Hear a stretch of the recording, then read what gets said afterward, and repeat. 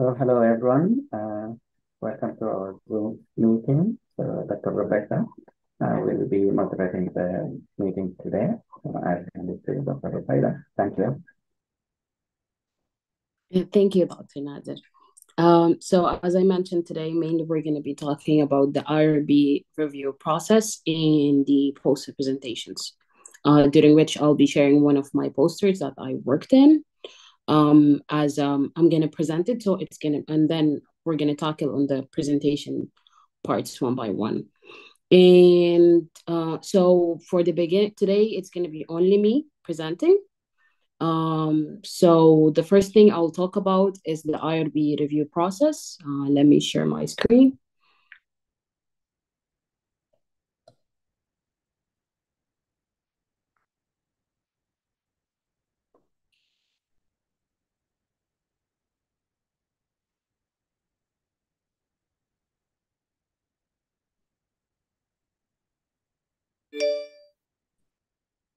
Uh, so can you see my screen? Yes. Yes, we can see. All right. Um, so the IRB is like to begin with, the IRB is the Institutional Review Board. Um, it's the board that uh, usually in each um, institute that's responsible of protecting humans, protecting or making sure that the research goes well. So um, it's the body that uh, full, uh, that makes sure that um, they fulfill their goal, which is uh, to protect human research participants and support the design and the conduct of a sound research by reviewing and approving the IRB submission for new applications and amendments and continuing reviews. Um, all the projects that meet the definition of research with a human subject must be reviewed and approved by the IRB, or either uh, received an exempt, as we come to learn later on, uh, exempt determination the, the, prior to beginning a research. Um, so the IRB, like the processes that the IRB staff initially they do screens. Usually, people do submit protocols to the IRB, or we call it proposal, uh, uh, in other settings. So um, the IRB staff initially screens the submission, uh, the submitted proposals or the protocols to determine the completeness and, and the appropriateness of the type of the review. Okay, so the submission may be returned to the study team for changes before before the review the review type is later on determined or assigned. The review type may be reassessed at any time during the review process. So basically, it's that um, the protocol or the the th- or the proposal for the uh, project that the specific uh, members of the institute wants to conduct. Uh, basically, um, it's um, evaluated for its appropriateness, evaluated for its uh, respect for the human subject, evaluated if it meets the right uh, criteria for conducting a research. Um, and then after that, um, the review itself is, you know, is divided into many types and based on the content of the informations that was present within the uh, um, the protocol itself or the proposal itself, then it's deter determined if this uh, research is supposed to be exempted, this research is supposed to be, you know, the review type is later on determined, I mean. Um, so the types of the IRB reviews are either, as I mentioned, it's a comprehensive. Uh, that means like they have to go through everything, or it's exempted. That means like the research project does not require an IRB review, or the research is not regulated. That means like it does not even, you know, has to go through the um, review process. And later on, everything gonna come into place. I mean, like in terms of understanding those concepts um, and everyone has a specific criteria that I will touch on later on. So the type of IRB review and the associated review process, it's easier. um, it's a full board review. Um, I mean, like it does take its time. Uh, it's not something that's exhibited or anything, or it's either exhibited for certain reasons, or it's a limited IRB review, or it's a system generated review. And this is all determined by what? Uh, it's determined by the level of risk to, to the research participants or the types of research being conducted, such as in um, is it an educational research or educa- educational intervention, or is it a survey? Is it an ethnographic observations? Something like that. Um, also, the sensitivity of the research questions or the complexity of the research designs uh, being put into the considerations, uh, to putting the, the, the, the, you know, the protocol or the project to, to be, you know, uh, categorized to which part of the review, or uh, the involvement of vulnerable populations as a research participants, such as prisoners and minors, uh, the use of um, identifiable informations or in in the um, unidentifiable biospecimen. Uh, so this is actually um, usually researchers they do uh, overcome this by um, you know by using an, an encryption or you know using other stuff that um, does not allow the information to be identified. Uh, also, the applicability of a one or more of the criteria for exempt or or exhibited review. So all this put into consideration determine the type of the review that um, the protocol or the specific research uh, project uh, will be assigned to. Um, so let's start with the research that requires a comprehensive IRB uh, review. Uh, the IRB may conduct either an exhibited or full board review for IRB regulated research proposed in the interaction or intervention or secondary use of application type to ensure that the risk to the subjects are minimal um, and are reasonable in relation to the anticipated benefits. Uh, the subject selection is equitable. The privacy and confidentiality are protected. Uh, the informed consent uh, process meet the federal regulation and at um, you know and requirement of the specific institute.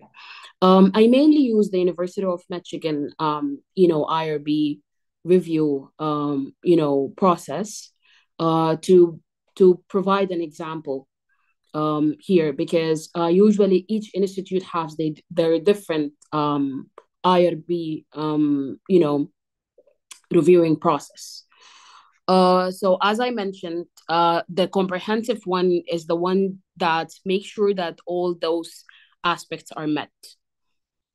Um, even the exhibited one uh, requires that um, all those aspects are met, but um, the time there will be like the difference is usually in in term of the time because the exhibited one is going to be in a shorter time while the comprehensive one uh, might be, you know, taking a longer time.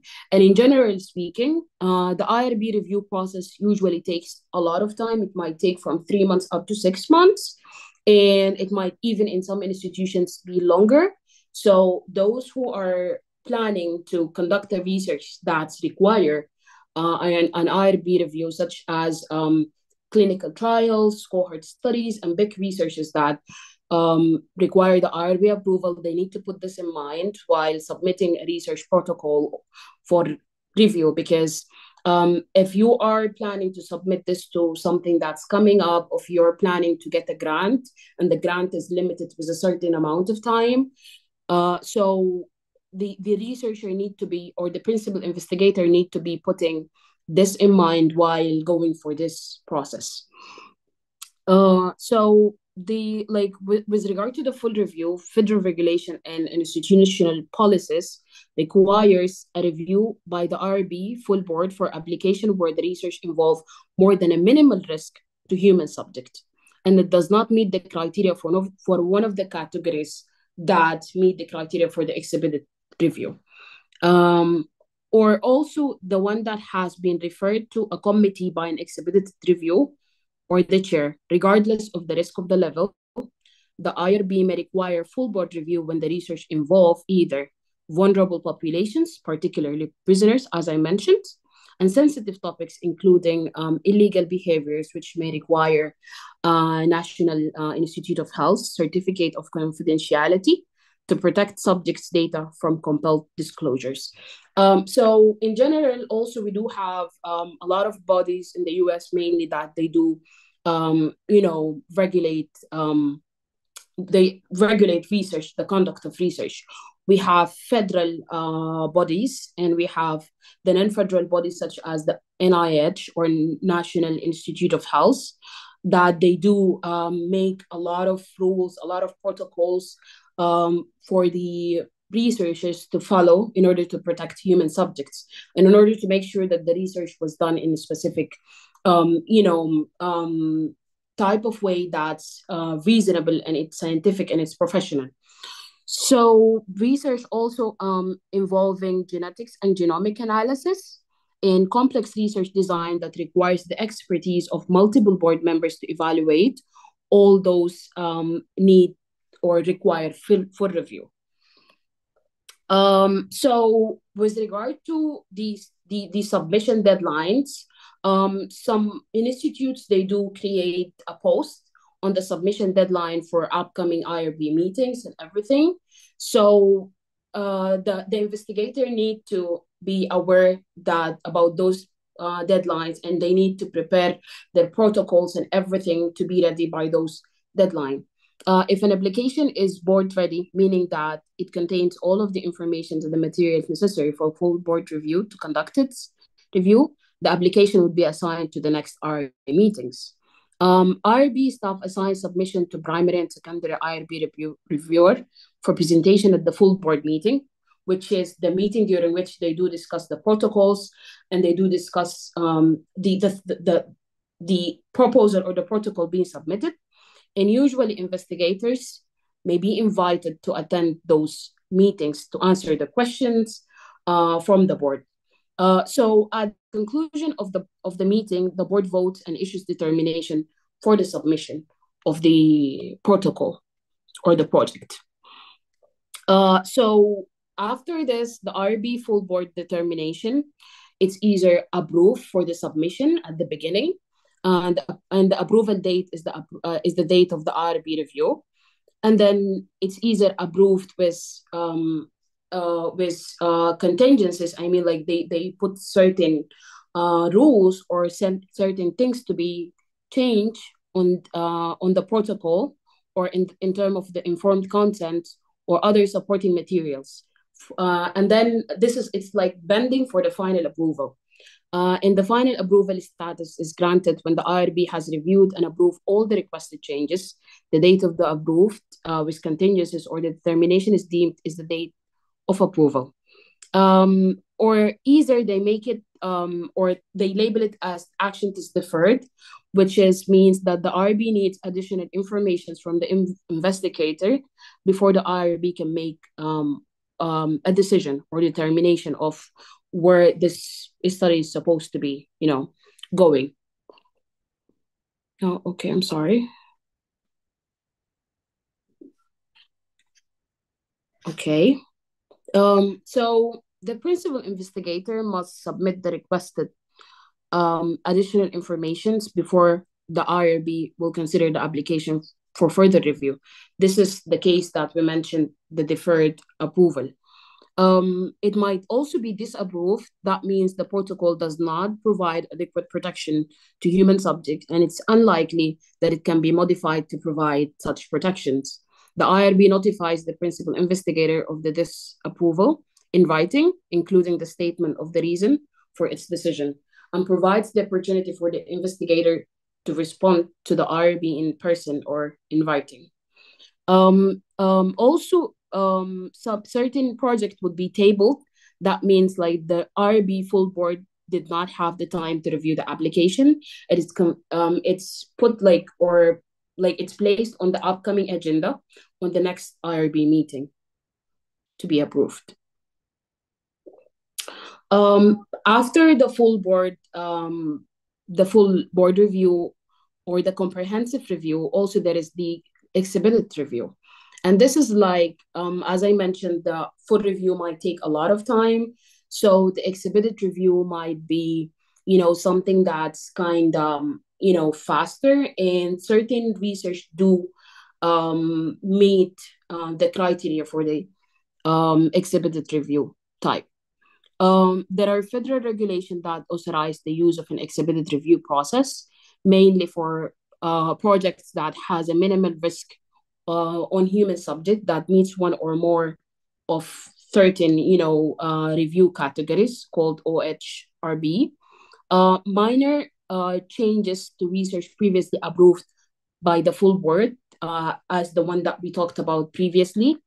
So if the if the one or the one that has already undergone full or comprehensive review uh, needs only minor changes, um, the investigator might apply for an exhibited review.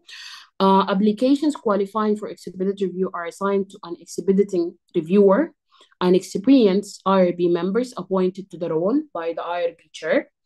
Um, the exhibited reviewer has the authority to make a determination or to refer a submission for a full board review for multiple purposes, either clarification or expertise, uh, including the cases of disapprovals. Only the full the full board has the authority to disapprove a study. Most the studies that qualify for exhibited review process do not uh, require annual continuing review, which is something that they do like even after you know um, the protocols meet the criteria for I for the IRB and uh, you know for the IRB um, things that they have put or rules that they have put um, every time or every annually um, the IRBs uh, do make a continual reviewing of, of most of the projects that's happening in that institute. Uh, so, and also while the, the project itself is being conducted, uh, the IRB usually, um, you know, has a follow up uh, to certain projects that require the follow up. Um, so, as we mentioned, the exhibited review, um, its determination is either um, in addition to um, like in addition to being um, to the approved and approved with contingencies determination, just like the previous one, the reviewer may issue changes um, requested uh, determination when substantial changes to the application or material required before exhibited review can approve the study. Um, so um, the exempted research, um, so certain researches are, um, they do have, like, they're exempted from review, uh, whether exhibited or full review. So usually it's per institute policy. The investigator must, must submit an IRB application for determination of exemption before the research begins. Applications are voted for exempt review through the interaction or intervention application or the secondary use of application type. Uh, IRB recommends uh, using the brief protocol for exempt research projects to provide an, an overview of um, the exempt project as a data uh, entry guide when completing the IRB applications.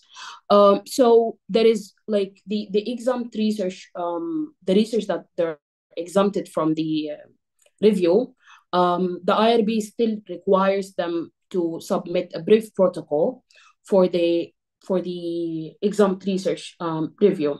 And then after that, um, if it's deemed that the project does meet the criteria for federal exemption uh, categories, uh, which is um, they're just um, conditions that um, inter- like nationally in the U.S. by federal law that has been put, and then if certain project does meet those criteria, then the IRB might approve it or disapprove it, or this is depends on the brief protocols that have been submitted. Um, there is this section of the um, of the federal law um, exemption uh, may be granted um, a determination of exemption by the IRB or where applicable through a system generated review process. So previously I mentioned also there is a different type of review process, which is a system generated review process.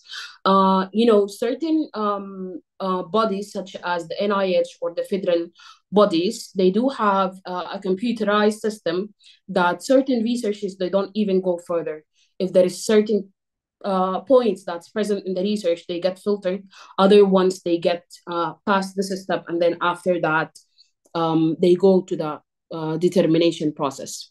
The review determination, whether uh, conducted by the IRB or a system generated, is limited in the scope to information necessary to determine if the proposed exemption applies. The IRB does not review uh, informed consents, documentations, or recruitment materials for proposed exempt studies. Exemption may be granted by the IRB chair, uh, exhibited reviewer, or qualified IRB staff members. Uh, projects receiving an exempt determination are not subjected to the continuing review process, as I mentioned, because there are already, um, you know, applying for something that's like uh, they're not even going to be reviewed. So the continuing review process that happens annually or while the project is going on, uh, it does not apply in these situations. Um, amendments are required only if changes to the project would alter the exemption criteria. An exempt determina uh, determination does not license the researcher ethical application to participate as an articulate independent uh, reports um, or the codes of the conduct for specific disciplines. Uh, research involving prisoners or certain type of research with children, such as minors, uh, surveys, in interviews, observation of a public behaviors where the investigator interacts with children does not qualify for exemptions because those type of researches they do um, you know um, involve uh, minors or you know sensitive parts of the community uh, there is also the limited IRB approvals, which is just something in between. It does not uh, qualify for exemption. It does not qualify for a full review. So the common rule provides, um, there is this thing that's called the common rule um, in in the in the research um, you know in research uh, conduction um, rules and you know. So it does provide a limited IRB review process, which is a required exhibited review of recruitment and consent material, as, a, as well as plans to maintain participants' privacy and data confidentiality. For exam two and three projects that collect or use sensitive and identifiable data. An exempt determination is issued when the exhibited review confirms that these protections are acceptable. So it's just um, this is uh, saying that um, you know certain certain uh, researchers has to go through uh, some type of a review, and then after that they can get an exemption after a limited um, amount of review. Um, there are researchers that are not regulated, and you yourself might be involved in this type of research that I would uh, I would talk about later. They do not require IRB approval, or they don't have to go through all this process. So, as I mentioned, not all research-related activities that involve people, their data, or their biospecimen. Uh, I'm sorry. Uh, are covered by the regulation governing human research. However, Investigators may wish to submit a brief, um, you know, uh, research IRB approval for a formal, not a regulated determination, either for funding or for publication, publication purposes, or the investigator may be able to issue system-generated determination later without submission to the IRB. In those activities are such as in case studies or case reports, for example, uh, class activities, uh, journalism or documentary activities, oral history, quality assurance and quality improvement activities, research on organizations, research using de-identifiable, as I mentioned earlier, they are called de-identifiable or encrypted um, data or biospecimen that um i mean like using them as a secondary this is called um like using the like the retrospective cohort studies and those that they do not require uh taking direct information from patients but rather to use secondary data. Research is uh, using publicly available data sets and some categories that require IRB review for the purposes of assessing compliance with HIPAA or other regulations apart from the one I mentioned. And those they include uh, HIPAA is the um, one that's responsible for protecting for the health protected uh, informations.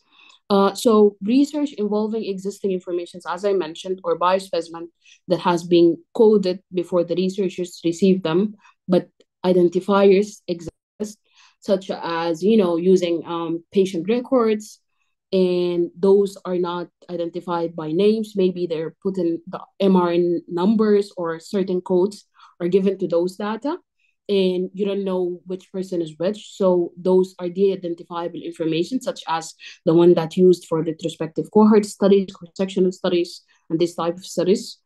Research involving dis- diseased individuals only, uh, pre-review of clinical data sets, preparatory to research, standard public health surveillance or preventive activities, uh, for a complete list of not regulated researches, uh, also I have put the link uh, down here. Uh, you might uh, also go through it. So just to sum up, um, you know, the IRB process is a very long process and usually um, we need to submit um, a protocol or a proposal uh, for the IRB in order to make sure that our research is in shape.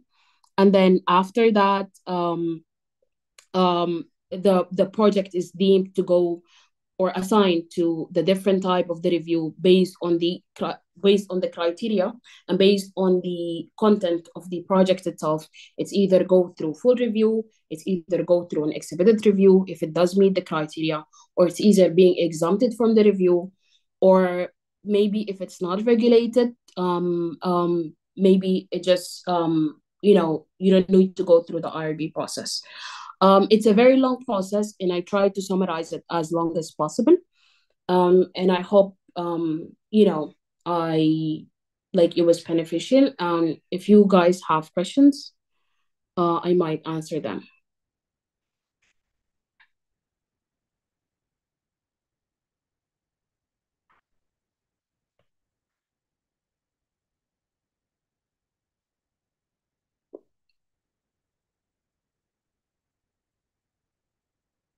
Excellent. Thank you so much for great presentation. Excellent. Thank you.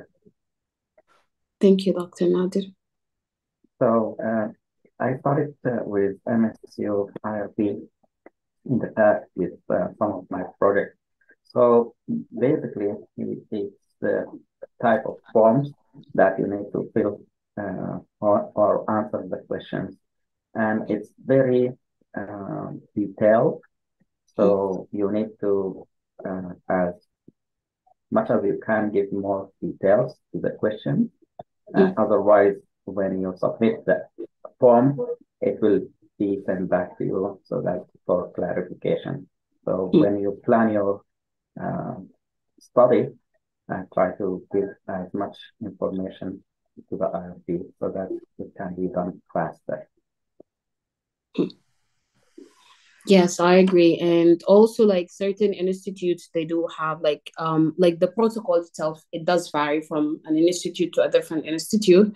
So like before writing the research protocol itself and submitting it to the IRB, um, it's very important to know like uh, what are the uh, the rules that govern uh, within the certain institute. For example, let's suppose University of Michigan, they do have um, you know certain type of um, criteria that has to be in the protocol itself, certain way that need to be followed.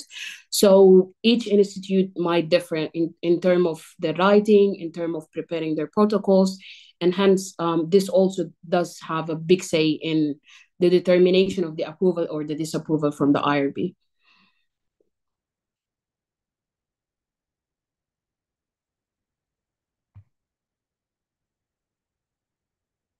You guys are welcome. Um, is there is any question regarding the the the IRB um process?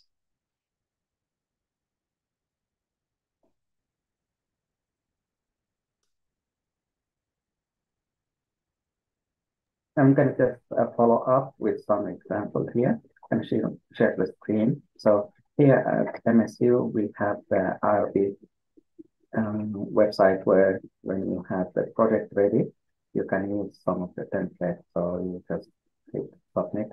Uh, so some of the templates uh, are explained to you uh, for new study, what type of protocols are there. So you click on uh, the one that you think uh, applies to you.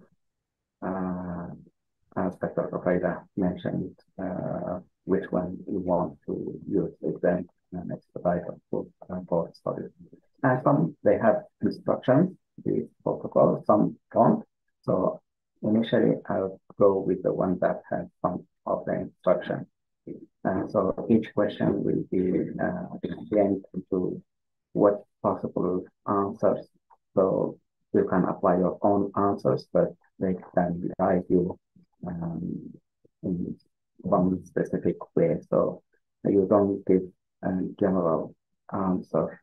Uh, otherwise, uh, they will uh, give you uh, feedback that you need to give more information. So it's going to be back and forth uh, between you and uh, the IRB approval. Um, it's a process. Sometimes it takes some, it takes some time. Thank you. Thank you. Um, all right. So the second agenda, if no one has question, um, like the second agenda is the the poster presentation. So I would like to do it by example. I already have a research project that we worked in. So I'll try to do a poster presentation. And at each step, I'm gonna, um, you know, stop and um and try to, you know, highlight the points. So let me share my screen.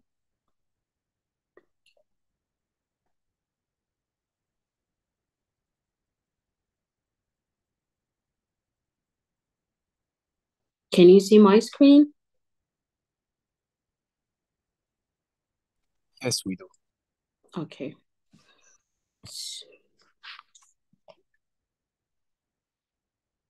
Okay. Okay.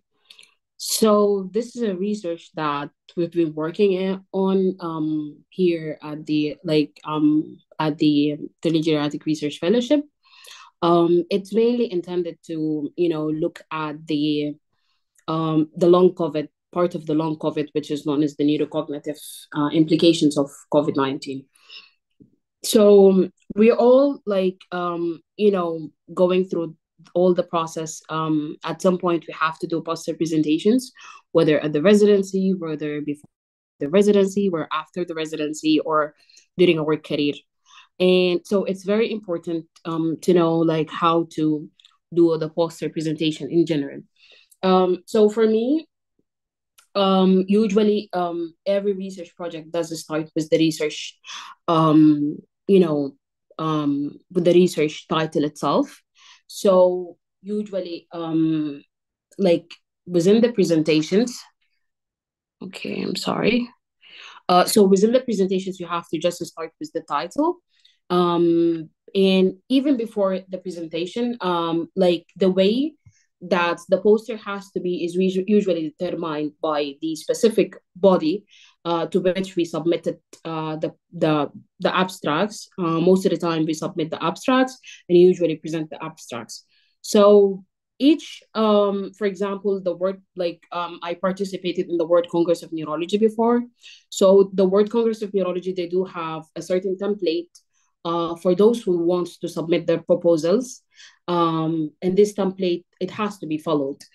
And um, for example, they, they, they usually start with the title and then go to the background. And then after that, they have the methodology. And then after that, they have the results and the conclusions. This is like they put certain sections uh, for the for the abstract to be, you know, organized in. And also they do have a certain word limit. So as while you're submitting your abstract, like even before the presentation, you need to know, like usually when we do a research project, the information is usually a lot. So we need to know what type of information or highlight that I need to put in the abstract or the poster that I'm going to be presenting later on, and how can I extend on those informations that I put. So it's very important to even think about the presentation at the submission um, at the submission stage Um, so each presentation usually starts, as I mentioned, with the title. Uh, the, the title in this research, it was the new cognitive implications of COVID-19 or uh, infection, which is uh, a systematic review that has um, with an insight into the pathophysiology.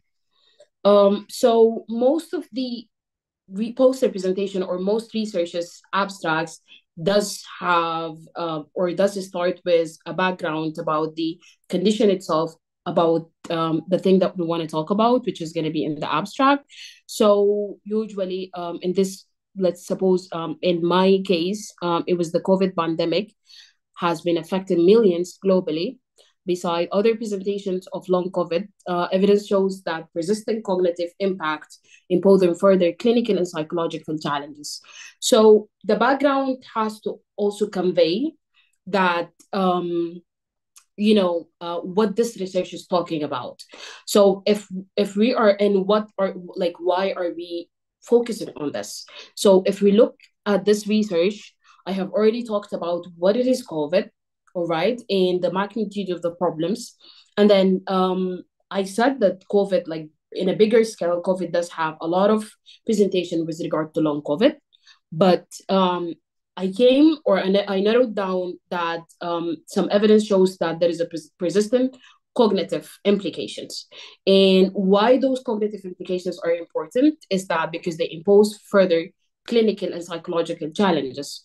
So within just those four lines, I was able to reflect because I do have a limited number of um, you know of words that I want to use. So I reflected the magnitude the magnitude of the problem and why is it important or um or the way of the affections and then why is it important and after that um, the objective of this study is uh, was aimed to and usually the, the objective as part of the background it has to be as clear as it is because it tells the reader or it tells the person who is going or listening to the presentations that what this research is going to focus on. So the, this study aimed to explore the available evidence of neurocognitive symptoms observed in COVID-19 patients and determines the pattern of occurrence of those symptoms. Uh, it was also aimed to explore the underlying pathophysiological mechanisms behind these symptoms and to assess the correlation between the severity of COVID-19 and the neurocognitive implications. So if you're going through those, um, you know, through those uh, aspects, um, you can know like what this study is uh, focusing on. And at the same time, uh, as a presenter, I have to, um, even if it's not written clear, I have to put it in a bullet point and then explain to the reader in a very brief and well, um, you know, explained way that what are the aims of those studies. And with regard to the methodology, um, the methodology also has to be very well, um, you know, explained because this determines how did we conduct this research? I mean, like, um, was it right? Did we use the right steps? Because um, if the methodology is good, then the whole like the validity and the, the trust that can be given to this research is uh, valid. So this study was a systematic review that followed the PRISMA or the third uh, reporting items for systematic review and meta-analysis guidelines. Uh, we used a comprehensive search in an electronic database using Google Scholar and PubMed from the years 2020 to 2023. Um, and this was done by six uh, investigators using a mesh, um, mesh search. So within those lines, I was able to explain what did we use as a guideline, uh, how did we do did the the gathering of data, who did it, um, the the time window that we use. Um, so it has to be as clear as this one. Um, also, we like in the process um, with it with regard to the inclusion criteria. Um, I mean, like um, in the methodology, as I mentioned, it has to include what was was the study in the process, what we did, and also we need to explain the inclusion criteria. For example, in this study, and is not does not has to go through this. Like each study is going to be different. Like the systematic review might need to have those items reflected. Um, case reports, for example, does not have to go through this. Um, cross-sectional studies does not usually have to, you know, follow those similar steps. So um, we included the studies. Um, okay, I even after finishing the systematic review, I can share one of the case reports I have uh, presented to show how different they are. So we included um, studies written in English focused on adult patients over 18 years of age who uh, who had um, exhibited neurocognitive health impacts following COVID-19 infections. And they were assessed through full neurological physical examination uh, using uh, cognitive tests like the Mini-Mental Status uh, examination and others. Uh, also, we considered studies that they evaluated the pathophysiological effect of COVID-19 on the brain. To assess the quality of selected studies, we employed the CASP and JBI checklist. Uh, this is for the uh, uh, sensitivity analysis. Also, data analysis was conducted manually by the investigators. Um, so this is pretty much uh, about the methodology. Um, it was brief and it kind of conveyed um, the the steps um, you know that has been conducted during this systematic review, and it conveyed um, what's already has been written. For example, in the PRISMA uh, uh, in the PRISMA protocol for writing an abstract for systematic review. And so, as I mentioned, uh, certain systematic reviews has to follow uh, the protocol either from the from the body that you're submitting it to, um, or if it's a systematic review, it has to follow the Prisma guidelines. If you're submitting it to certain papers or to certain journals, or you're submitting it to certain conference. Okay, so um, with regard to the res- to the, the results, um, out of the th- the 435 studies, 111 studies investigating the neurocognitive impact of COVID-19 and its pathophysiology were examined. So in this, I conveyed that we have seen initially 435 studies, and then um, you know, later on, um, after the sensitivity analysis and everything, we came up with 111 studies that we included in the final analysis. Um, within this uh, study, several neurocognitive uh, symptoms were reported, most commonly being the executive dysfunction, memory loss, attention deficit, fatigue, anxiety, delirium, and delay in processing speed. Other symptoms were also identified. So just within this slide, um, I mainly mentioned the most common findings that we found. And because the neurocognitive symptoms were a lot, I was not able to list everyone on this because on the abstract, we have to be as brief as possible. So I mentioned it as other symptoms, which are the other non common symptoms that were identified. Um, so the second part was the pathophysiology part. The exact pathophysiological mechanism behind the cognitive implication is not clear. However, the review collected evidence that suggests several potential mechanisms uh, are involved. Uh, certain studies talked about the virus entering the CNS through either the olfactory nerve or using the vascular endothelial cells or the immune cells. And by this way, the virus does break the blood-brain barrier and it binds to those cells and reach the, C- the CNS through binding to the ACE or the angiotensin converting enzyme type 2 receptor on the brain, uh, on those uh, cells.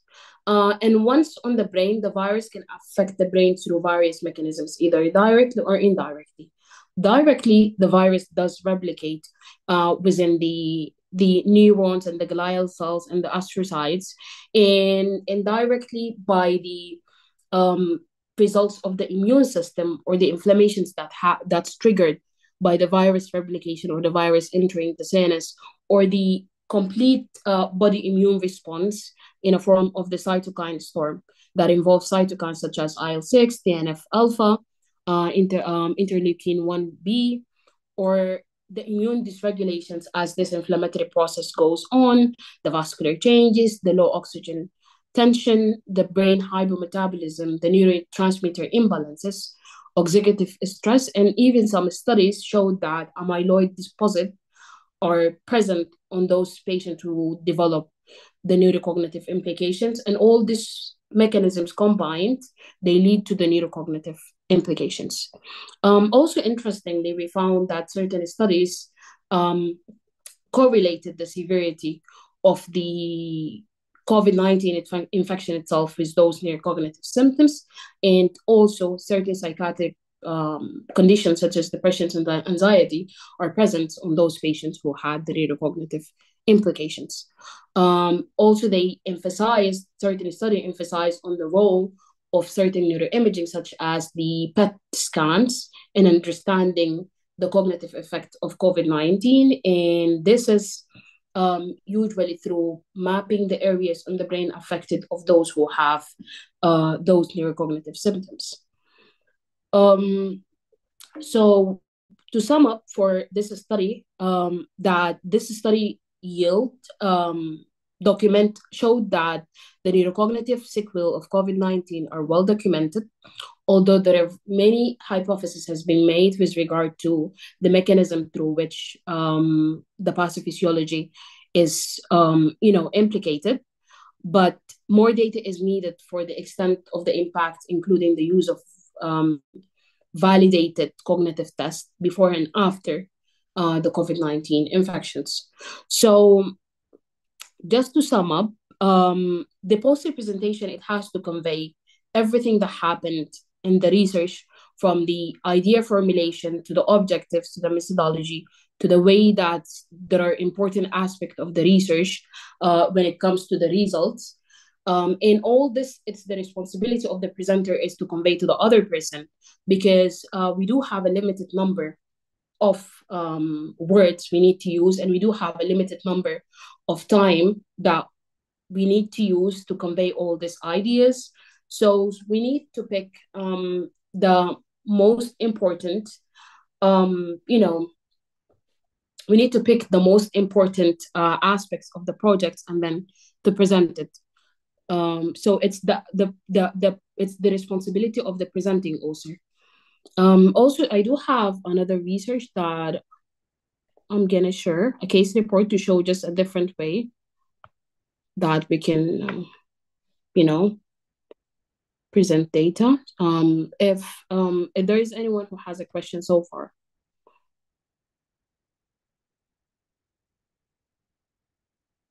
Before we go to the case report.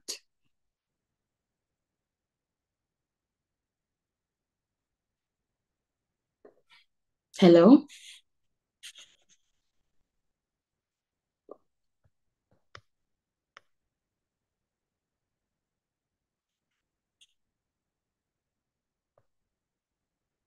Can you hear me? Yes, we can, Dr. Rufida. Okay. So let me share one of the case reports.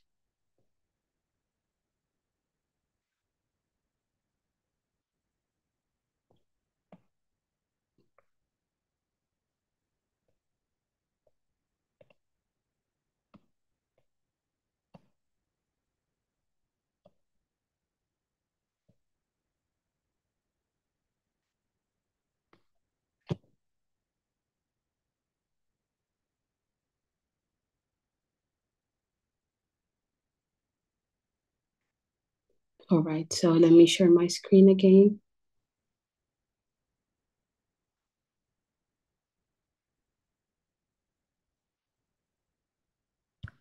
It's not shared. Yeah, no, it is. Okay, okay, okay. So this is one of the um, the abstracts that I presented at the previous World Congress of Neurology. So as you can see, like this was the template for the uh, WCN that they required us to use in order to present our abstracts. Um, so um, the, the research that I was working in in Sudan was one of the professors in Sudan, Professor Bashir Hussein. Um, it was uh, it was titled "Malaria Among Adult Sudanese COVID Patients." Um, this was conducted at the um, you know Dawood Research Group as one of their projects, and as you can see that um, in this um, you know in this uh, conference they had this template uh, through which you need to start with the title then the name of the authors and then the name of the presenting authors and then their affiliations, their different affiliations.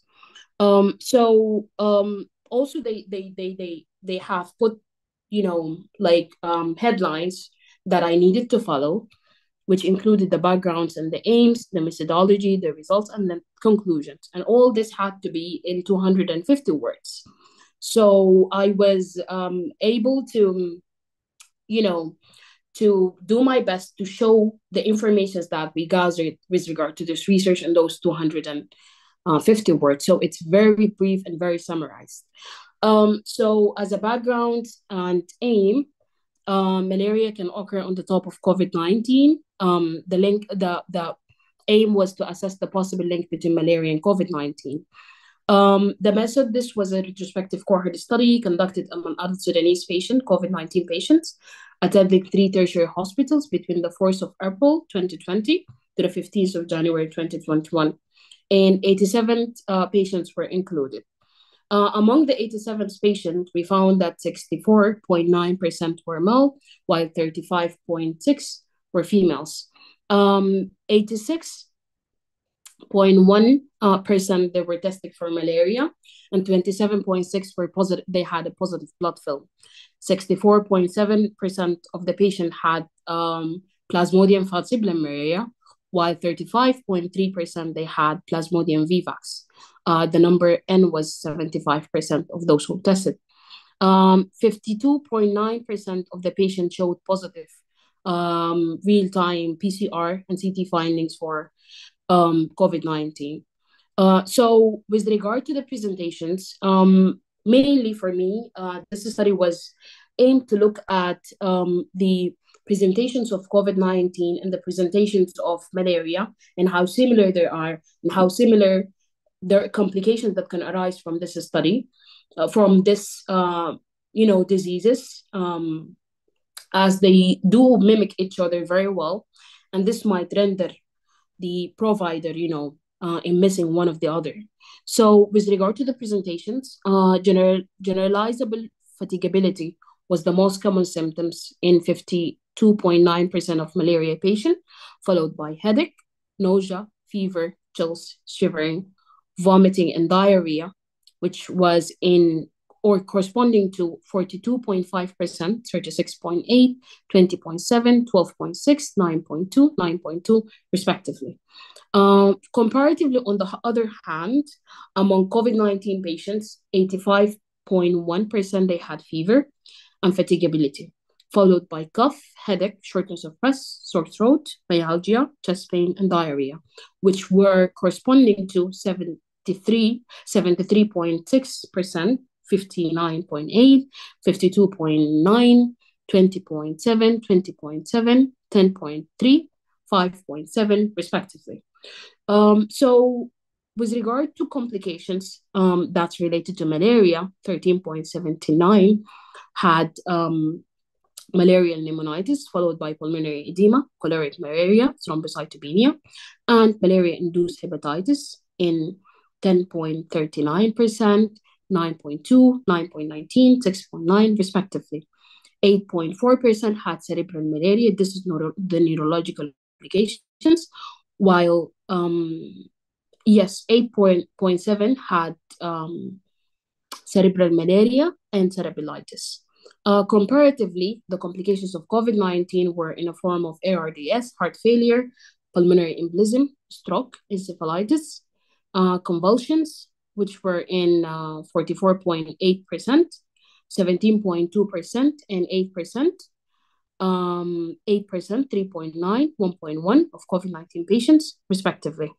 Uh, so to sum up, malaria and COVID-19, they both can share um, with regard to presentation, there's they have similarities with regard to presentations, complications, which may render one being in diagnosis and undertreated and with undesirable sequel. So this is a different form of studies that included, um, this was a retrospective studies apart from the systematic review that I presented earlier. And so this is just to show you that like how a different um, study can be presented. And the third one I have is, um, I'm sorry, um, it's um, okay, it's this is the case report that I was actually looking for. So this um, abstract, um, it was a case report of Arnold malformation type 1, which was associated with syringomyelia, syringobulbia, and migraine in a 34 years old Sudanese female. Uh, so you can see that uh, the way that this is one is presented is different because um, like when we come to the background, um, mainly I talked about that this is Arnold malformation, which is a heterogeneous group of disorders that um, occur due to a hindbrain displacement. Uh, up to um, up to date, there is no reported case of Arnold malformation that had the combination of syringomyelia, syringobulbia, and migraine in a single case. So here, I'm talking about what am I talking about and why this is important. So in the methodology, it's not it's unlike the the the other two case the other two studies that I mentioned. Uh, it mainly says it's a case report. So when it comes to the results here, also it's kind of tricky. It's different from the other studies we talked about. I mainly talked about how this patient presented. So a 34 years old Sudanese female presented to the neurology outpatient complaining of pins and needle sensation since 11 years that's associated with episodic hotness involving the right face, upper and, and um, right face, right upper and lower limbs, headache since four years. That was right-sided with a photophobia and phonophobia, but no auras, nausea, or vomiting. Also, right-sided weakness that happened since two years more in the upper limb than the lower limb, but it does not involve the face, which brought the patient to medical attention.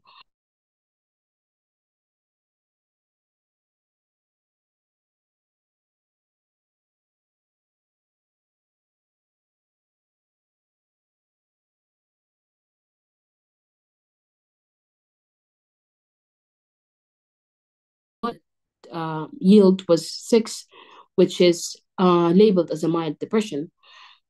On clinical examination, revealed that right-sided hemiparesis impaired spinal spinothalamic tract sensation on the right side of the body, and cranial nerve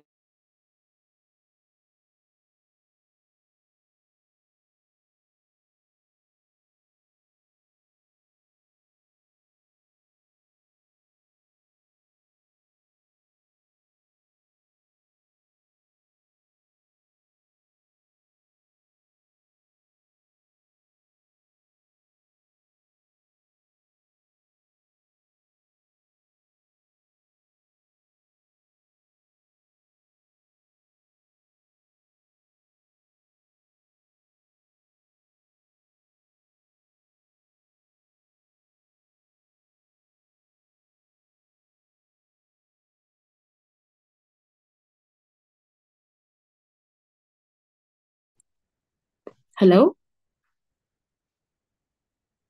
Yes, we can hear now. Yeah, we couldn't hear you. You couldn't hear me. Yeah, now now we can hear you.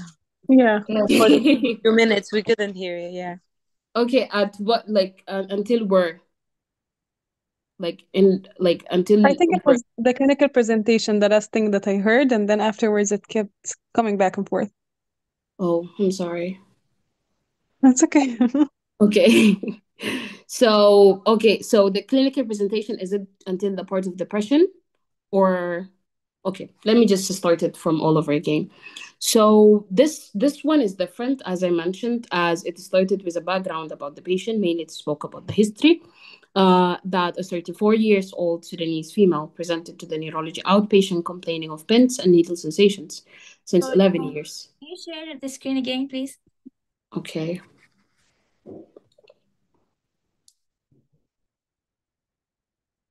I'm sorry for the inconvenience.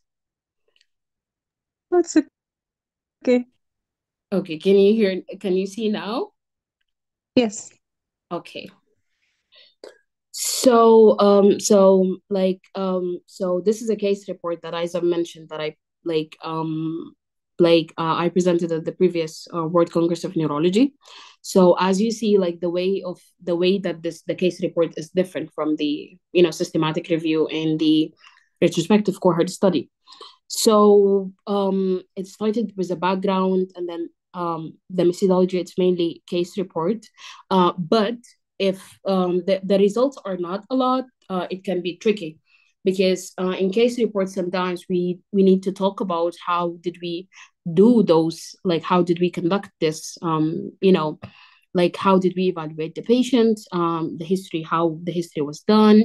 Like for example this patient mainly um neurological um history and clinical examination was conducted mri was done but because you know i had a limited amount of words um i tried to mainly write case report in the methodology and then to let the other to, to use the other words in the results section because the results section is very condensed. So it varies because um, if there is no a lot of data with regard to the results maybe um, a presenter poster presenter might expand on the methodology section so, a 34 years old Sudanese female presented to the neurology outpatient complaining of pins and needle sensation since 11 years. That's associated with episodic hotness involving the right face, upper and lower uh, limbs, headaches since four years. That was right sided, pulsating with photophobia and phonophobia, but no aura, nausea, or vomiting. Also, she had right sided weakness that since uh, two years more in the upper limb than the lower limb, but does not involve the face, which brought her to the medical attention. Uh, the patient also developed difficulty in swallowing to both solid and liquid, with choking since nine months. She otherwise has no additional neurological uh, symptoms, interestingly. Although, um, as we can look here in the MRI, that this patient had a very long syrinx that extending from the brainstem until, um, you know, the, the spinal cord um, um, she only presented, you know, she only presented with the symptoms of uh, right-sided uh, hemiparesis and right-sided hemisensory loss. The other side, the left side, is not involved. And the only thing that has, in terms of bulbar symptoms, is um, difficulty in her swallowing, which is not was not present from the beginning. It developed later on. Um, so it's very interesting uh, that this is not the typical case of syringomyelia or syringobulbia that would, would present uh, with, um, you know, with uh, the cape distribution. And at the same time, it's not the typical case that does present with the, um, when in terms of syringobulbia is presenting with Horner syndromes and other um, cranial neuropathy. Um, she other um okay she otherwise has no additional neurological symptoms, as I mentioned. Uh, for the past nine months, she had some depressive symptoms, and her PHQ-9 um, yield was six, which is mild depression. Uh, so when we go to the clinical examination, she, um, there was right-sided weakness confirmed by clinical examination. Also, she had an impaired only spinothalamic sensation um, on the right side of the body, while the dorsal column was intact um, uh, the right side of the body and cranial nerve. Um, later, she had cranial nerve 5, 9, and 10 affection, which, um, you know, was not very much uh, apparent in the examination. Or, I mean, like, which was not very much apparent uh, at the beginning in the examination, as in the history, as I mentioned. So, the brain MRI also showed tonsillar herniation of a one centimeter um, below the foramen magnum, which confirms that this is uh, Arnold malformation type 1. And the spinal MRI had, there was a syrinx that extending from C1 to D9 and D10. Uh, she underwent uh, posterior fossa decompression and later she developed dysarthria. So with regard to the result, I presented from here like um, how the, the patient presented with the history uh, and the highlights in the clinical examination that was present and what was done for this patient and the results of what was done for this patient, because this patient is interesting. And also the procedure that the patient underwent and the, the, the, the after the procedure, what did she develop? And in conclusion, the coexistence of syringomyelia, syringobulbia, and migraine are rare presentations that are associated with Arnold-Chiari malformation type 1 and has unique neurological and neurosurgical implications which require special attention. So to sum up, as you can see, like the case report is kind of different. It's not the same statistic that I was mentioning with regard to the systematic review and the cross-sectional study. And the way that we can present um, certain case reports. Um, also um, a huge part of it also played from the literature we do because the literature shows you uh, what aspects is already present in the literature and what aspect you need to be focusing on uh, when it comes to you know uh, presenting the findings that you have. So this is pretty much um, for the two agenda for today if anyone has question i'll be you know happy to answer okay neda you can go Uh, Dr. Rufida, I just had a question regarding when you did like the systemic review, it seemed more kind of like a PowerPoint or a slideshow. Is that usually how it works for a poster for a, a systemic review, or is it because of the requirement for the submission was to do it like that? No, um, actually, this is not the submitted version. The submitted version was um, we submitted this actually poster to the annual um, you know, annual AAN uh, meeting. Uh, so they do have um, um, a sections in the AAN meeting that um, that we need to enter the informations. Um, like they do have like 300 words limit and then they do have certain sections. So the headlines was the same for the AAN, but the slide presentation, I just put it in the slide in order for me just to present it to everyone uh, to show them like um, how can we present um, like what we need to include in the poster presentation but otherwise um, usually as i mentioned it's dependent on who we want to submit it the, the poster to is it the AAN? is it the you know for example the world congress of neurology and other societies that we're submitting the the the, the abstract to so it's mm. pretty much um, yeah it's pretty much um, objective uh, by the rules and the guidelines they do give. Ah, I see. So it differs according to where you're submitting it. And of course, exactly. because it's like a systemic review rather than a case report, so you would have to include more details about specific aspects. Like, as you mentioned, methodology would be more in details and so yes. on. So you have to follow it as, as much as you can. Yes. So they would like, um, even like for the certain sections, they do have word limits for example, for the methodology, they might have like 20 words limit or 30 word limits. It depends um, on, as I mentioned, on the person that you're submitting the abstract to. Um, and um, even the sequence itself, it depends. But um, at the end of the day, also, I would say, even if they do have a word limit, it's up to the presenter to shows like which part do I need to focus on with regard to displaying certain informations. Mm-mm, I see. Thank you Yeah. so much to clarify. You're welcome. Uh, are there any questions? Any more questions?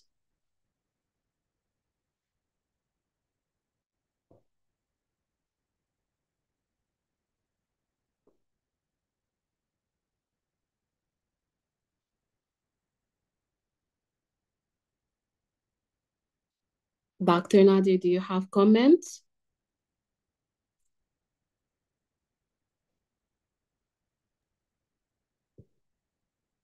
I agree with you. Uh, so it depends on what uh, when you submit your abstract uh, to these conferences, uh, what the requirement or what the setting there. So uh, thank you so much for the presentation. Thank you. So some sometimes you can present in person just one poster, like print out, uh, maybe three foot by four foot or some uh, big presentation like uh, on a poster paper format, and you will go in person to do that. Uh, sometimes it may be virtual where you will uh, send uh, the same slide, but one one image, um, and then you can um, talk. So you will um, provide a video or uh, um, audio with the presentation, the, poster, so you can present that. Sometimes they may offer you a two or three minute um, video, so you can record your video and you can do the same but by edit. You can go um, up to three, four, five slides, so you can just uh, divide your poster into some sections or past, for example, past one, past two, and so forth. So it depends on the, the conferences.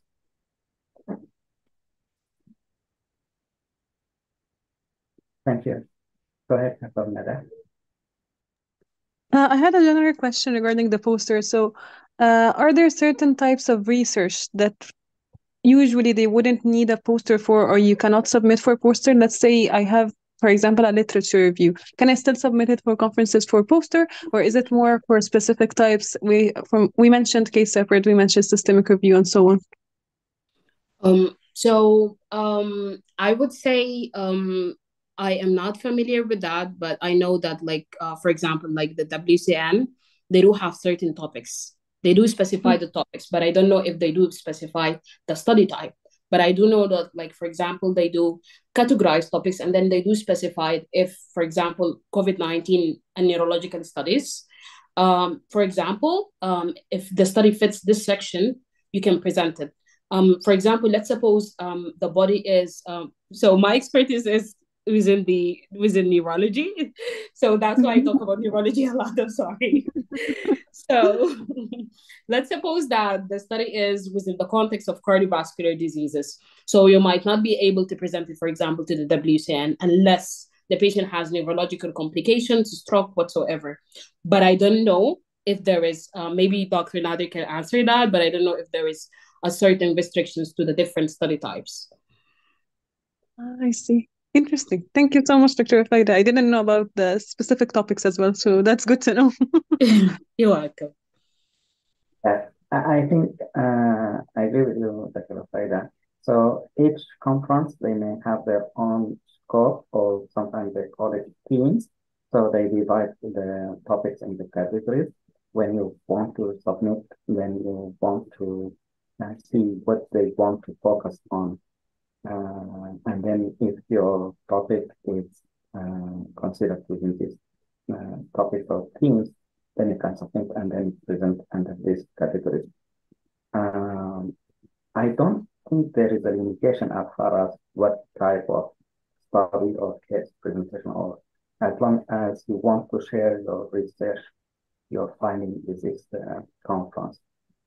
Mm -hmm. Again, it depends on their focus area. So sometimes they change from one year to another year. Uh, but in the last few years, we focused on uh, COVID related things uh, in most of the conferences.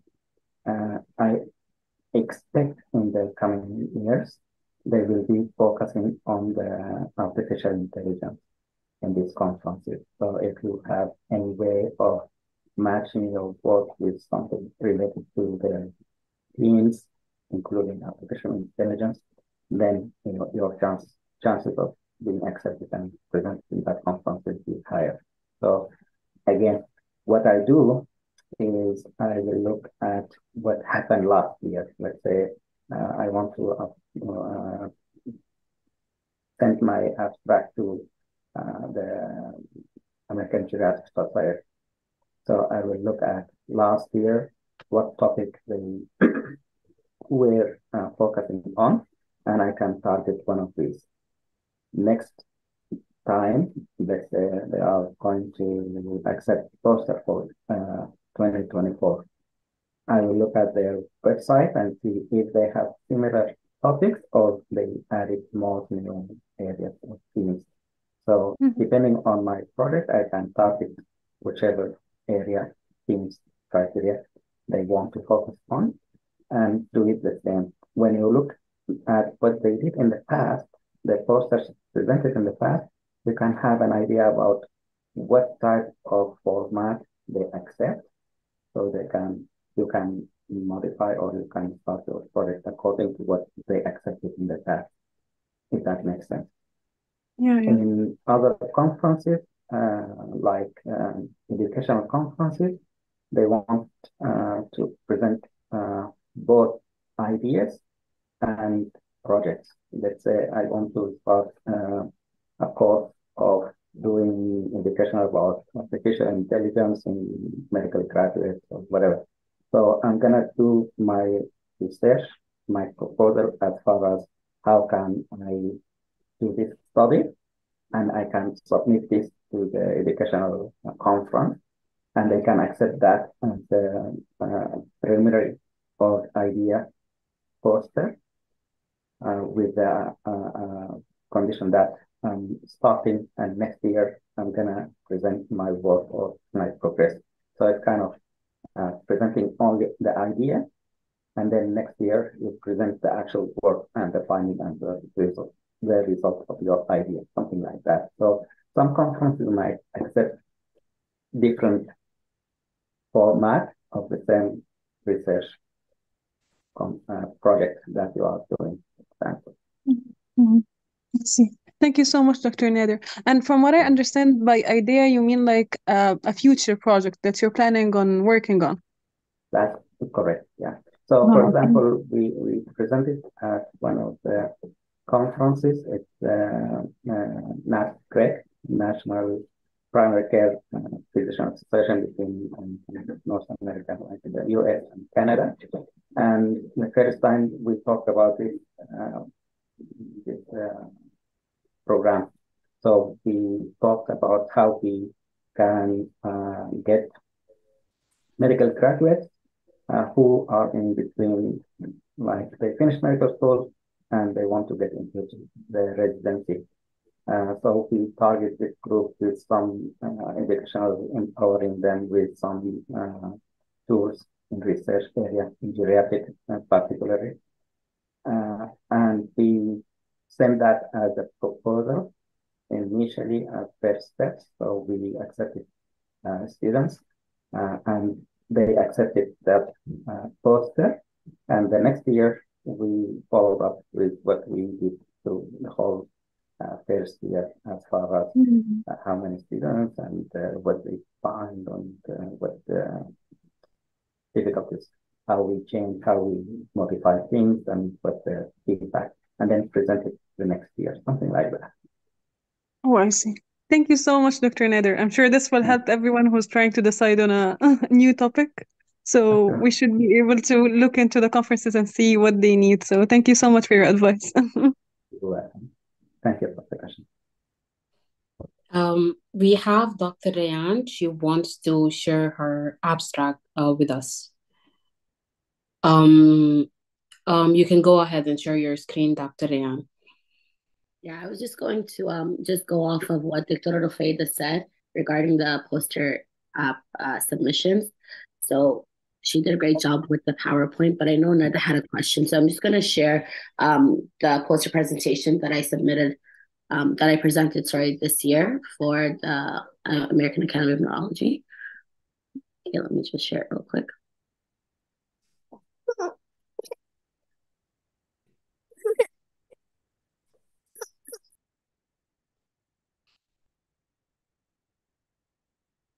So when you submit to them, you submit the systematic review. And then from there, if they accept it, um, usually this is the format of the poster presentation. And so you'll have a very clear the intro, objective, methods, results, discussion, and references. Um, like outline for poster presentations, I want to say it's very similar depending on what conference uh, you're applying it for. The difference comes in the sense of um, when you're coming to print off the poster. So they have different like uh, requirements, or um, you have to make sure that it's within like a certain uh, range. For the AAN, they actually had it where it was digital, so everyone had like um, a screen that were able to zoom in and zoom out um, and talk about uh, the specific aspects of the poster presentation.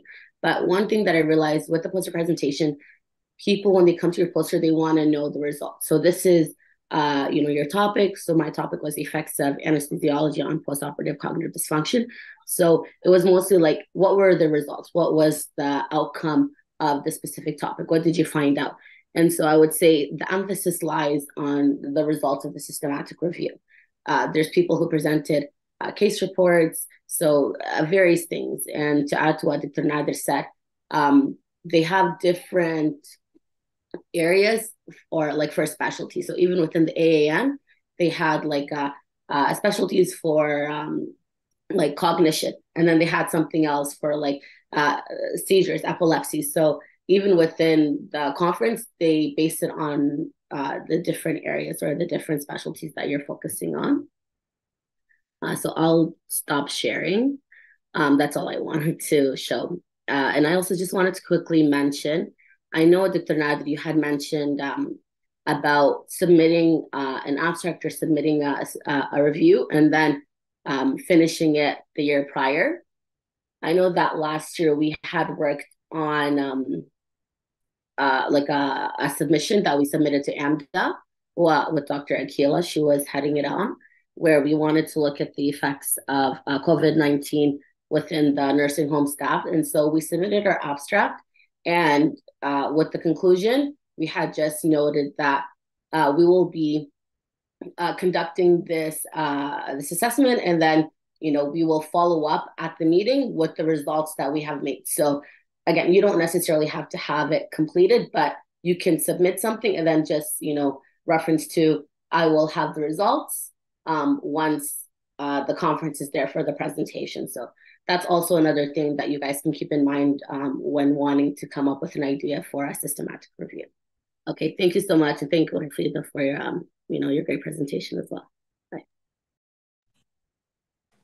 Thank you so much, uh, Dr. Rayan. And uh, that happened also with uh, one of the group in the first batch. Uh, they have also some ideas to work on collecting some data, actual uh, patient data. So we submit um, the first uh, part of it to AMDA, and then we did not hear, so we modified it, and uh, we still were doing the analysis.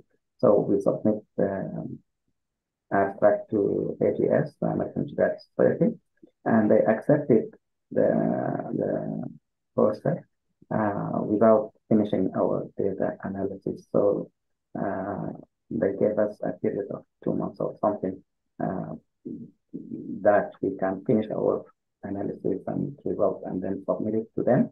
And then they gave us uh, the full approval for uh, the acceptance.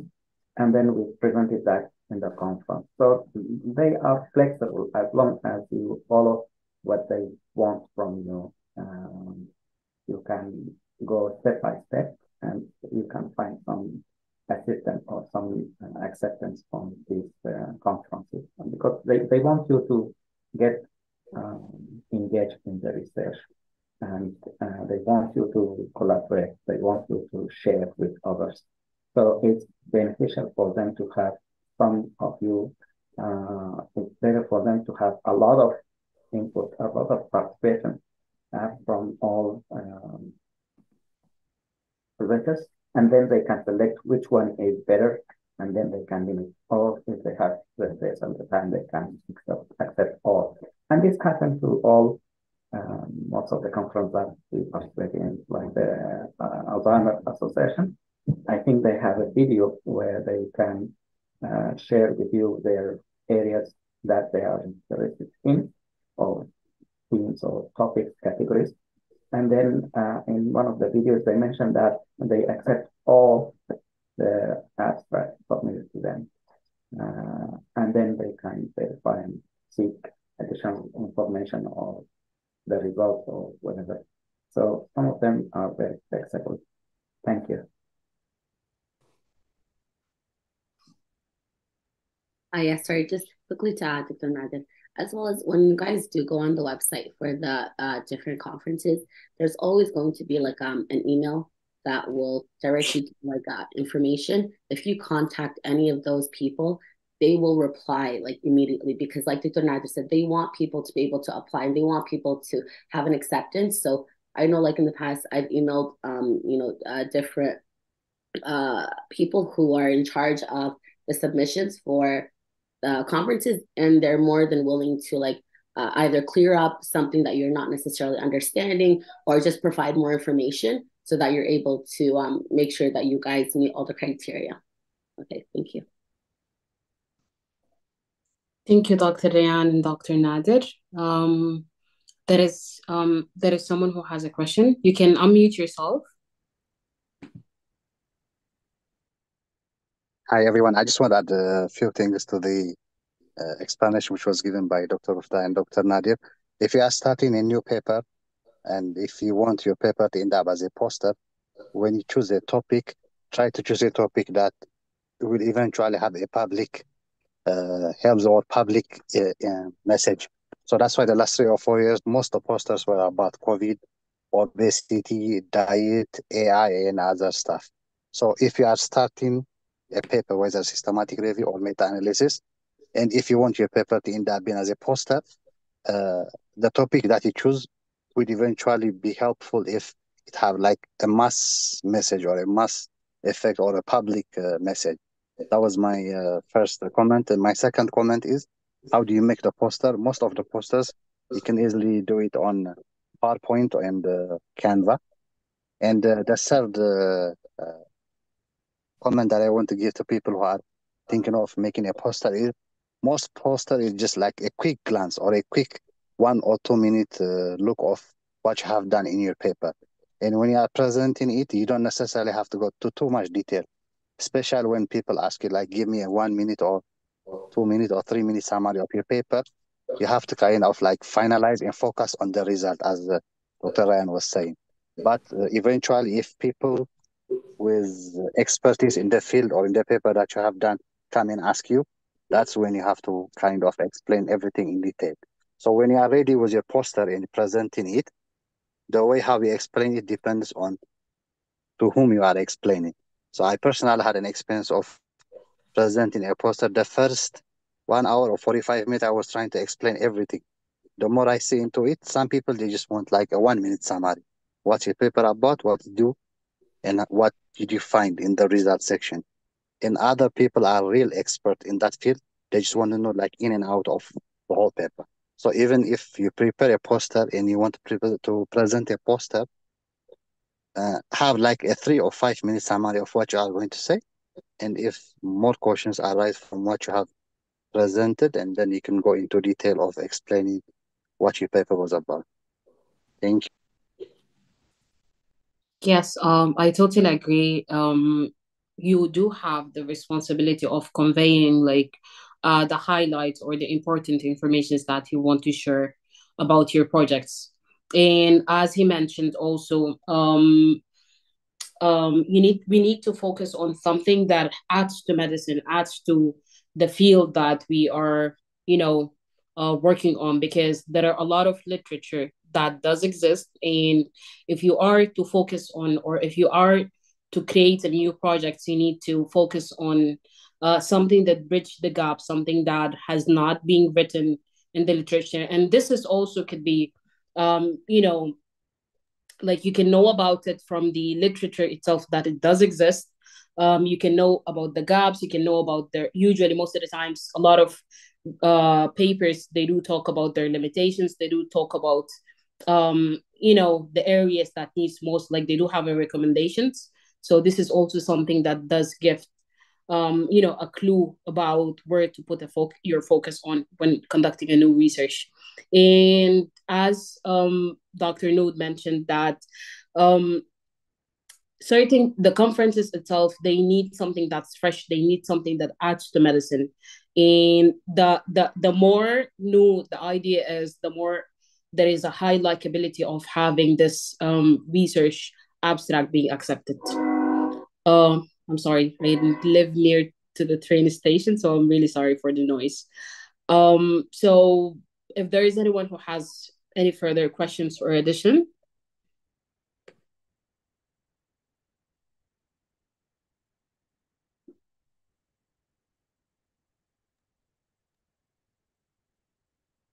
Go ahead, uh, One last point just to add, as long as you are done with your poster and especially if you fly out of your state or out of uh, the country, whether to Canada or USA, try to make use of the time that you got there because I keep on mentioning this a lot.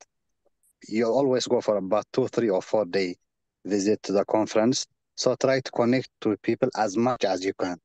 Try to sell your ideas, your achievements, your institution, and you might end up also finding maybe four or five people who are willing to work research in the future with you.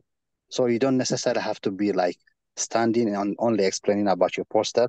You can attend other meetings, other uh, literature reviews, other conferences within the conference where you can randomly meet people who have like the same interest with you, whether for residence application, for a research, or for a fellowship, or even for other projects. That would be very helpful for reconnecting with people. One, and secondly, uh, try to kind of announce that you are going to a conference maybe four, five, or six weeks before the real conference, either in your LinkedIn account or WhatsApp or uh, Twitter, whatever the platform that you use, so that uh, sometimes people who previously worked with you or who want to work with you may attend the meeting. So you will have like this home field factor when you go to a conference or a poster that you will not be alone standing just presenting a paper and going back to where you came from. Thank you. Yes, uh, this is a very valid point. Um, usually, like for example, conferences like the WCM, they do have in a, a specific time of the day during which, uh, for I mean, poster presentation, not oral presentation, specific time of the day for poster presenters to be around their posters because this is the break or the time that people get out of the big sessions and this stuff. So this is the time during which we do, you know, present our projects or you know take the presentations part. But otherwise like um, if you're a poster presenter you can enjoy the rest of the you know the conference. There are like so many um, connecting opportunities especially with like for example if i'm focusing neurologists uh, there will be a lot of neurologists who are sudanese from all over the world they're coming. So it's a really great opportunity to connect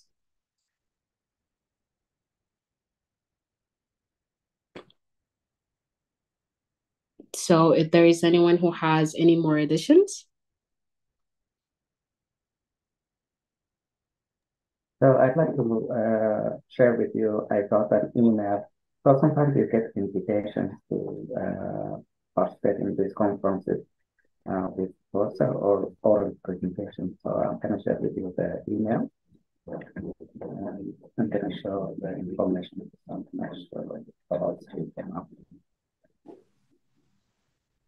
So this is the email came from um, IASP, the International uh, Pain Specialty Software uh, World Congress. So they uh, are accepting uh, process um, proposals or products. So the deadline is January, end of January. And when you go to the website, they have the information that we just were talking about um, the requirement and the forecast. So here's the, the first time uh, if you want to go ahead with your submission and then uh, the guidelines uh, for your submission. So uh, what you can do and what you cannot do. So they specifically mentioned the deadline, so you have to do that and the um, submission in English. Uh, so no change after it's accepted. And then uh, sometimes they specify that the conference is in person or in uh, like uh, Zoom or some virtual platform or combination hybrid. Uh, so here's um, how you put your uh, submission steps. So you put the title, topic, and so forth. Authors, uh, abstract details, and then if there is any sponsorship or something. So you review that and submit. And then uh, the list of the categories they, they want to uh, you when you submit select which category so that when uh, they get all these posters or abstracts they send it to a reviewer. So the reviewer will be uh, someone who specializes in that area. So let's say I'm a, a geriatrician, I work with uh, patients with COVID. So in this case, they can send me all um, posters came under the category COVID and pandemic and so forth, if that makes sense. Um, it's different topics and different uh, categories here. Um, so this is one thing. Uh, the other thing is the conference itself, uh, as Mahmoud and uh, Rayan and mentioned, you can be in person uh, for that um, conference. So you can be um, on the site for your posters, explaining things, asking questions. But at the same time, it's gonna be a brief, like a two-hour session every day or something like that. Uh, the rest of the day is yours, so you can go around, look at other uh, talk to other presenters, um, and you can also connect with other people who present orally, for example, or uh, you can meet some program directors uh, who attend these uh, conferences, for instance. Uh, so this is one part that I want to share with you. The other part is this conference will be in in in, in uh, the Netherlands, so they have some uh, award or some travel uh, finance aid. So what we do in our program here is if you are submitting to um, a conference that they want uh, someone to be in person, I think we can um, work together to include some of the fellows in that area. In the US, for example, if the next conference be in Florida, maybe it's a good idea to have one of the fellows uh, get involved in the project who lives in Florida. So it's going to be, uh, as far as travel-wise, it's going to be easier, less expensive. In this conference, for example, this will be in uh, Holland, or Netherlands. So someone from the UK, uh, France, or some uh, fellows who are in the uh, Europe area, it's easier for them to go attend a couple of days in, in Holland, for example, uh, rather than um, someone from the US to travel um, back and forth. So this is uh, another way of doing things in collaboration between you guys. And so you think ahead if the, the conference is required to be in person, so you plan ahead who will be there and uh, how to minimize the cost and the timeline. Thank you. Thank you, Dr. Nadir, for all the information. Um, by this, uh, we're gonna go to project update. If there is anyone who has, um, you know, a new project or working on a project that's, you know, currently they they reach a new milestone or step, you can just share it with us.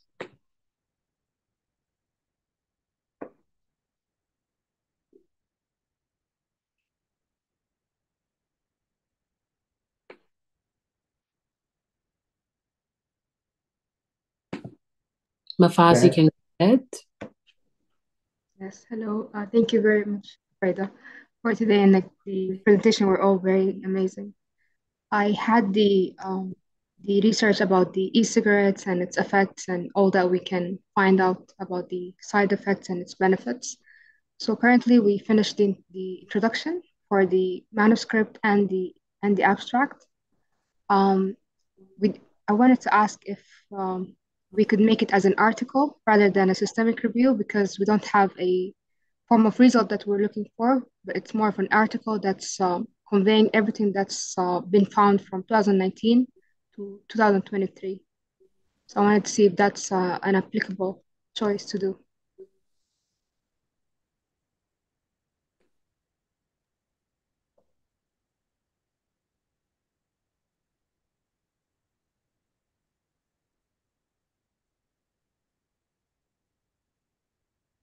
So if you ask me, uh, I would um, try to make what they call uh, hit two birds with one stone. So if you already started the, the project and your idea is to do a poster, it's going to be faster and it's going to be easier to get the project done, accepted, and presented. Uh, if you want uh, to give yourself some time to work on it and get more details and then convert that into a manuscript. Um, that would be also great. Um, and um, just uh, put in mind that it may take longer and which are, um, journal you want to target and the possibility of accepting or rejecting that um, will be there. And if it's rejected, then you go to journal number two, number three. So you have plan A, plan B, some uh, way of um, started more than one um, journal, just in case. Um, the best way to do it is you do both. So if you have a good enough people in your team, uh, so you assign tasks to team number one, where they will be working uh, and effectively targeting one of the conference, submitting the poster in that sense. And that team number two will be working slowly but effectively as far as uh, comprehensive look at what you have and turn that into a manuscript and also looking at what um, journals available there so that you can have a good impact with your paper if it's accepted.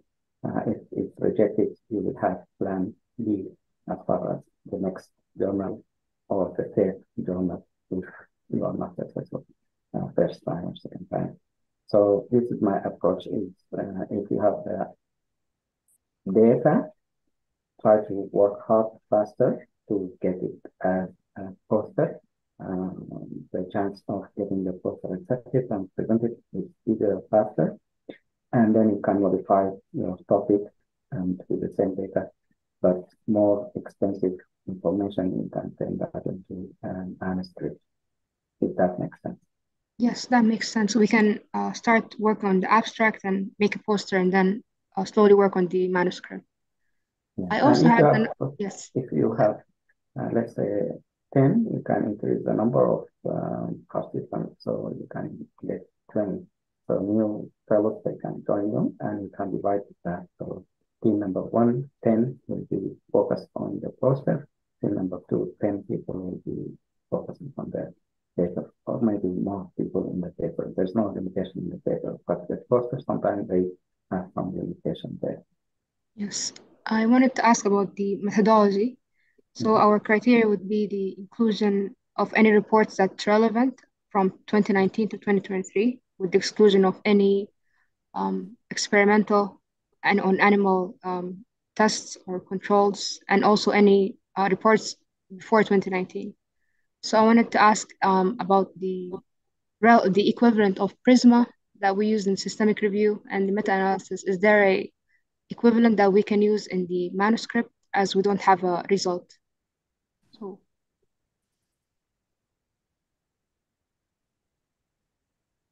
It wasn't clear as far as mm, your question. uh, because in the methodology, um, Mm. what sort of tool would we use? Because in the systemic review, we use the Prisma.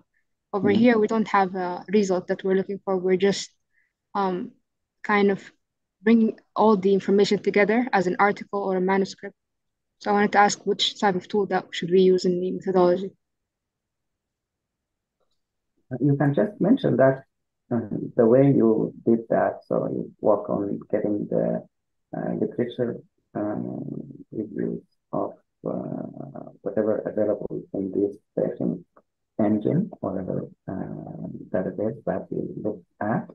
Uh, and sometimes what people will do is when you find an article uh, that interests you, you look at the references in this article and see which one applies to you. So you can also include that as a reference. So you look up uh, in the references that's available there. When when you are writing a paper, uh, there is no limitation as far as the method you are doing, uh, because the way you will present your method, you can analyze that at the end and see what limitations that you found in your method or uh, may subject your um, findings to a bias.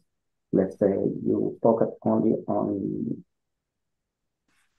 younger people or older people or the articles in English or something like that. So in the limitation, you would say also we look at the literature, but we limit ourselves to this group or this language or something like that. So um, your um, article will elaborate on some of the steps that you did and what limitation you faced. Um, so that when you generate your conclusion, uh, it's gonna be kind of uh, balanced. Yes, perfect. Makes sense now. Thank you very much. Yeah. Sure. Yeah. Go ahead, Dr. Munir. Assalamu alaikum. Uh, thank you, Dr. Nadir, for uh, giving me the opportunity. Uh, now I'm working uh, with my team on uh, abstract about uh, cardiac MRI uh, finding uh, after uh, post acute myocarditis uh, after second dose of uh, messenger RNA vaccine, COVID vaccine.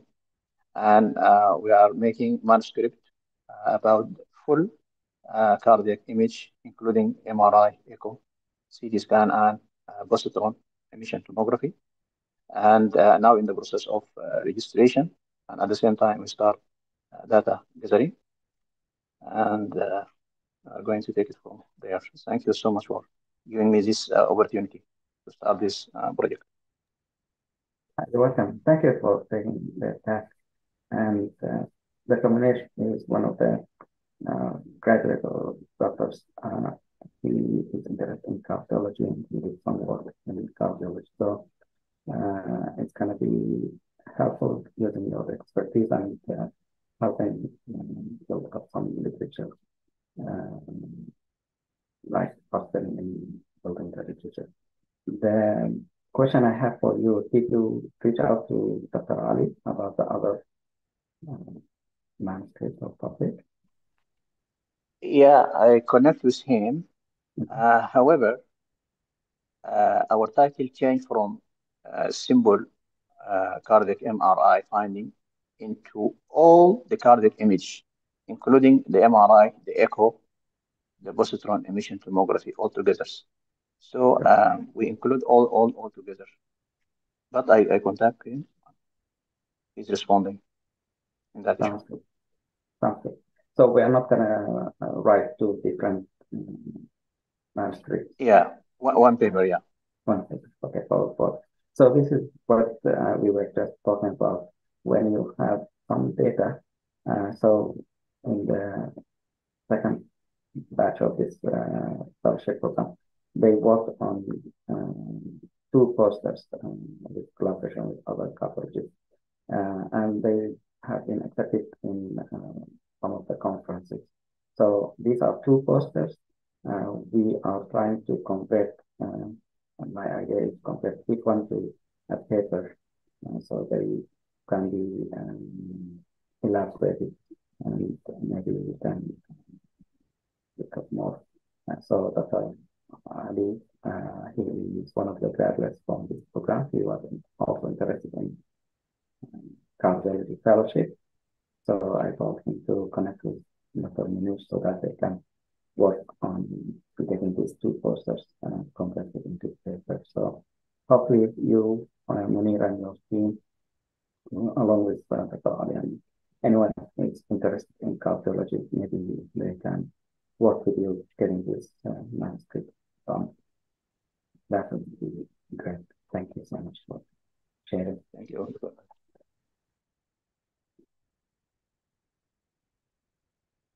Anyone else uh, or any other updates? Uh, Hello, Dr. Nadir. hello, Dr. Go ahead. Yes. Um, so there is this epilepsy application um, that um, we did, I did actually uh, formulated the team. And we also found a volunteer that is willing to help us to have a program version of the application so as to make it able to, you know, to upload it in Google Play in app stores. And also we're targeting, um, you know, um, you know, um, Sudan population that they have uh, epilepsy. So we might have um, like Professor Abbashar in Dawood Research Group, they might um, also use the application in order to, you know, to see patients like a form of a telemedicine. So currently we're in the stage of just gathering the ideas. Um, and then soon like we're gonna have a solid ground.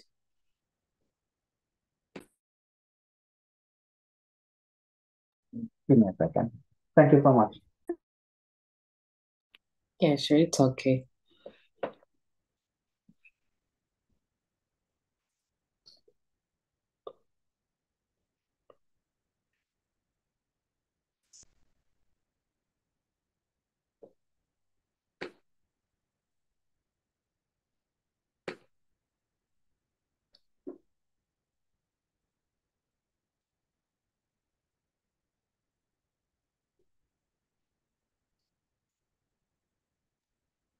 So thank you so much, Dr. Rufida, for sharing. Uh, this is great. So uh, again, you can uh, build your team if you think, but uh, we want to work on um, the basics of the app. So you already have the idea, you have the collaboration. Hopefully, uh, we can work with the professors to Sudan, and uh, maybe we can also improve it in the future to get uh, some um, neurologists here in the US uh, from Sudan or other um, countries here um, in the US so that they can collaborate. I know some graduates from the University of example, uh, maybe they are in neurology, uh, so they can collaborate in the future. But the idea of building the app itself uh, is great. So I want, if you have uh, a chance to connect me with the volunteer who will be working on the development of the app for the stores like Apple Store and uh, Google Play. Uh, the reason I'm, I'm working on uh, trying to get some of the three apps that we will um, successfully uploaded them to Google Play. I want to see if we can convert um, that to um, some of them are, of them to um, Apple Play Store. Or Apple Game. It's, it's um, very tedious work for Apple. The way they want things done uh, as far as um, the app development and uh, acceptance is the. So, yeah that's that's actually amazing. Um the volunteer is actually my brother so i can i can ask him if um he like um if he can help with the other application like uh, regarding you know uploading it to the ios and the different other platforms right thank, thank you Thank you so much. I really appreciate thank you dr Nadir. um and there is any other updates Ah, yes, there is. okay go ahead Jaya. Uh, so inshallah, Dr. Nadir, um, my team and I were going to be presenting uh, the webinar on long COVID next week at 11 a.m. I'm going to share the poster this week. So, you know, it's open to everyone. If you guys are able to join, it would be more than amazing. That's our message. So it's gonna be uh, Saturday at 11. Yeah, Saturday, December 9th at 11 a.m. Sounds good. Uh, you going to use Zoom? Uh, so it's gonna be recorded or how? Uh, sorry, what did you say, Dr. Nadir?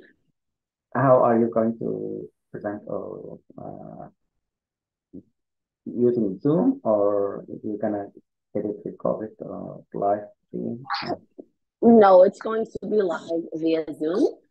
Um, yeah, so we're going to talk on, uh, we're focusing on uh, three. So the musculoskeletal, the cardiovascular, and the neurocognitive effects of long COVID. Um, we're just going to introduce long COVID in general. Then uh, we're going to talk about uh, three specific symptoms. Um, my team has like done the research and everything, so it all should be ready. Um, and yeah, we're going to do it on Zoom, but in a way where like you're able to join, but it's going to be um like the audience won't be seen. I'm not sure if that makes sense or not. It was similar to how Dr. Dua and the rest of the fellows did it last year. Good. Sounds good. So um, I am asking this because I can help with the recording and uh, putting the uh, webinar online. Yeah, no, Thank that's you. amazing. Yeah, we can we'll record it. We'll record it so that we um have it and if anyone missed it, they're able to watch it back. That's good. Thank you so much. Go ahead, Dr. Asma.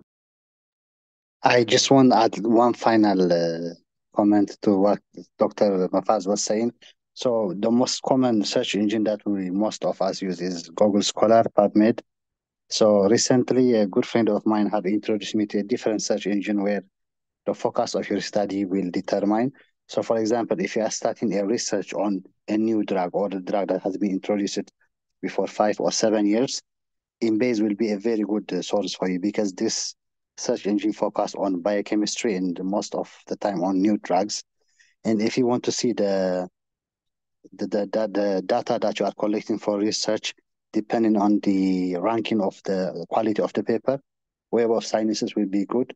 So there are also other uh, search engines such as PLOS One and uh, Scopus, and there's also clinical trials which are specifically uh, designed to register specific concept of a research. So I will try to search. I will try to share it in the chat box. So, for example, if you are starting a new research on drug, even though most of the search engine incorporate the same findings in their list, but if, for example, you want to do things as fast as you can, or maybe in a short period of time, you will focus on a specific aspect of the the, the research.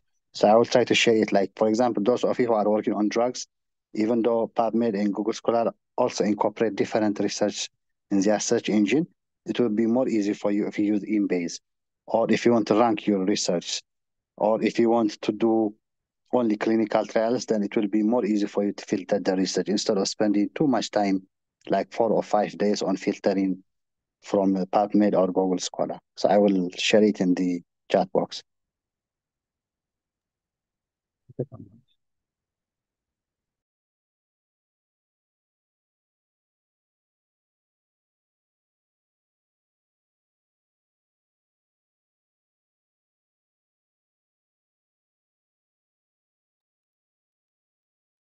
Any other questions, any other comments, any other ideas or you know, suggestions?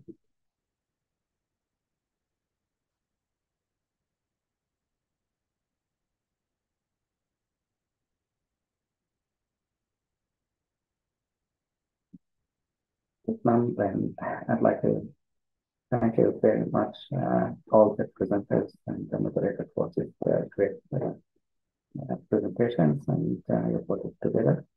Thank you all the attendees for this meeting, and I hope uh, it continues beneficial for all of you. And I'd like to thank those who will come later to look at their forum. Thank you so much, and have a wonderful day night. See you next week. Thank you, Dr. Nadir. And thank you, everyone, for listening today. Thank you, Dr. Faida. And your team. Thank you, everyone. Thank you again.